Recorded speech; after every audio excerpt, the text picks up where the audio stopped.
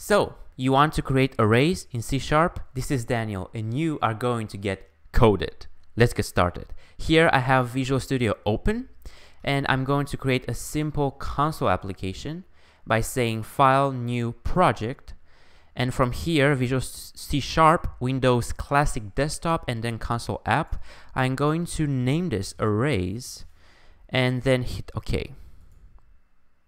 While this is loading and creating, I have here a web page about arrays. And this is similar to a blog. And I'm going to post the link in the description below and you can click the link and you'll go to my personal website, danielsimionescu.com. And there you find uh, this post. Um, and basically, here I have an example of why you need to use arrays and Visual Studio is done. Let's try to hit Windows key right arrow and let's begin. So why you need to use arrays? You can use arrays to store same type variables. So variables of the same type, like integers and strings and double, they have to be the same type. So imagine you have three numbers and you want to calculate their sum. And you could declare these numbers as individual variables. Why do you still open here? Okay, I don't know why this is open all the time as individual variables and then create another one to hold the sum. Let's leave that like this. Windows, it's crazy, okay?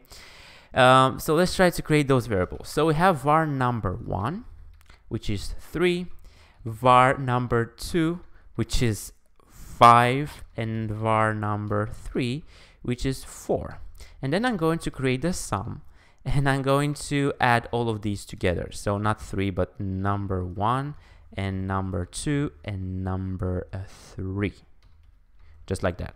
And then console write line sum you can you have a shortcut CW and tab and then you can pass the sum. If we run this program like it is right now you're going to see the console flash out and then close and you are not able to see the actual result. In order to keep that console from not closing, you need console.read key and this will uh, make the console stay until you press a key. And also, uh, instead of clicking here on the start, you can press F5 in order to open the console. And let me try to make this smaller and we have 12 as the result of the sum operation, which is amazing. Let's move on. So this works well, but what happens if we have 10 numbers? What about something crazy like 75,268 numbers? Imagine how many variables you need to write. It will be something like this. So many variables. You'll lose count of them and as you can see, you need to have unique names for each variable separately. So they need to be unique. That's a hustle. You'll not do that. This is where this is where arrays kick in. So we can rewrite the whole program with an array. We have here numbers, and then we initialize this numbers array with these numbers instead. And then you can see that we have the method, uh, the sum method, which is part of LINQ. If you don't know what LINQ is, I will create a separate video for LINQ, but it provides you with many methods that you can use on collections.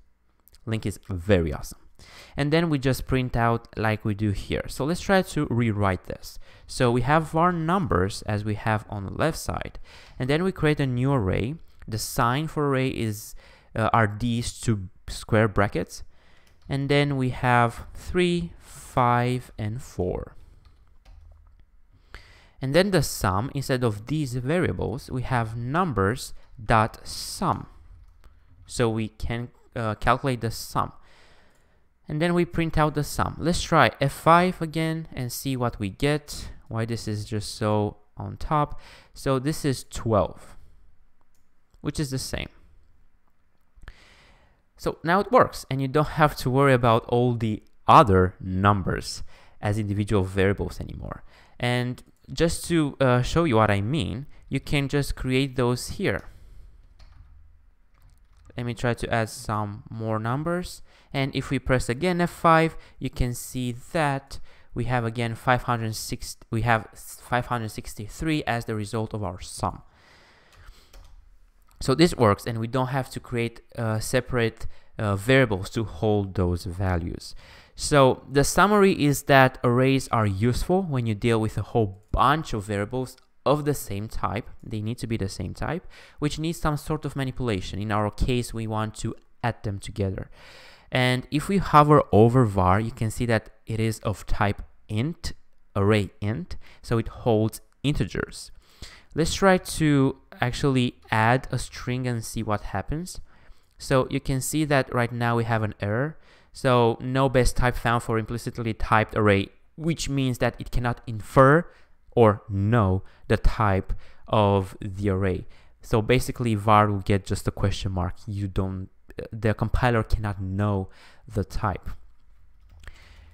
Right now we have integers. Also we can have decimals. So if you have dot something and you can see right now this array is of type double. So it holds double numbers. Even though we have only one, this is treated as a double array. And if we press again F5, we can see that this works and it prints out the sum with the decimal.